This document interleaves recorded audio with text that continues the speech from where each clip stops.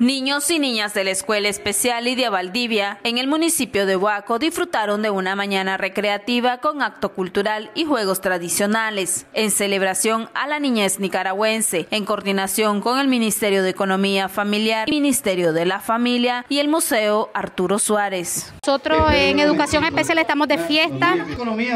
Eh, nosotros eh, estamos haciendo restitución de esos derechos que tenemos, de esos espacios que hemos ganado solo con nuestro buen gobierno gobierno.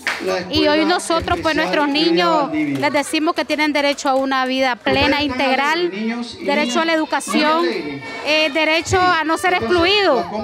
Somos educación inclusiva, somos educación especial. Y para nosotros pues es un día de mucha alegría.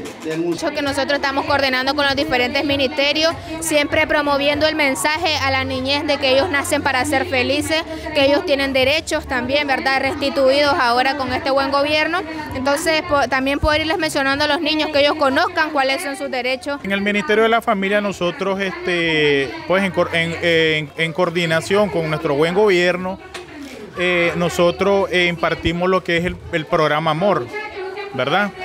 Aquí hay niños que son parte del programa y para nosotros es muy importante de que los niños sea, vayan creciendo con igualdad, sean iguales ante todo y que vaya, vayan creciendo con lo que es armonía familiar entre maestros, la familia.